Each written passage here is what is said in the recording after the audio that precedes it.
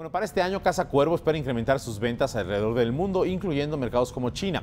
Su objetivo es alcanzar la venta de 11.5 millones de cajas. Para conocer más sobre la estrategia de esta compañía, saludo con mucho gusto a Cristóbal Mariscal, director de Relaciones Institucionales de Casa Cuervo. Hola, Cristóbal. Carlos, ¿cómo estás? Un gusto Bien. saludarte, como Bienvenido. siempre. ¿Cómo están ustedes? ¿Cómo va eh, Casa Cuervo?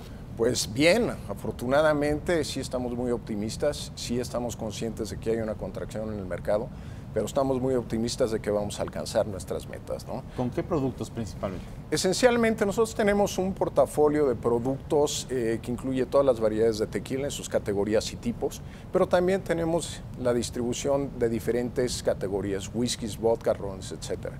Estimamos, como lo mencionaba, superar los 11 millones de cajas en ventas totales de la empresa, de las cuales alrededor de 4.5 millones de cajas serán vendidas en México y de estas alrededor de 2.2 millones de cajas de tequilas. El resto, es decir, alrededor de 6.5 millones de cajas, serán exportados a los diferentes mercados en donde participamos en más de 100 países.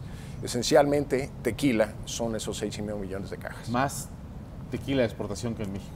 Claro. Recordemos también que la producción total del año pasado del tequila fueron 235 millones de litros, de los cuales 176 millones fueron exportados. 200.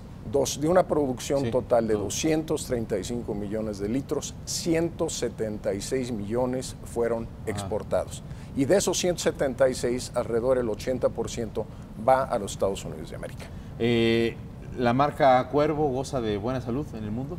La marca Cuervo sigue siendo la marca número uno de tequila del mundo. ¿Por qué somos la marca número uno?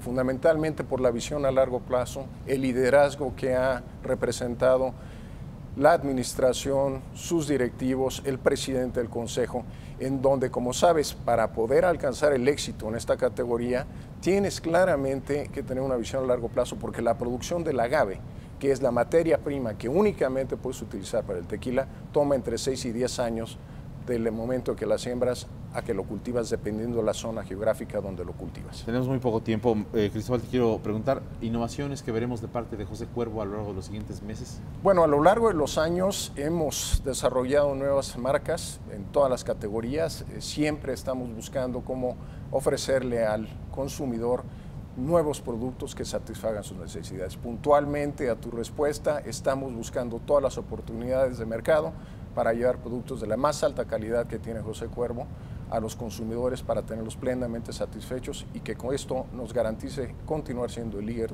de la categoría no solo en México, sino a nivel mundial. Esta idea que ha flotado en el ambiente de negocios de que podría ser vendida esta empresa, ¿sigue ahí? ¿Es vigente? ¿Existe o no existe? Nosotros eh, seguimos con nuestra propia visión, estamos emprendiendo nuestro propio destino, tenemos las riendas de nuestro futuro, tenemos una visión y una dirección que va a continuar asegurando que José Cuervo siga siendo la empresa número de tequila en el mundo. Y es así, ¿verdad? Es la número uno. Así es, definitivamente. Cristóbal, muchas gracias. Al contrario, Carlos, un placer saludarte. Igualmente, mucho éxito.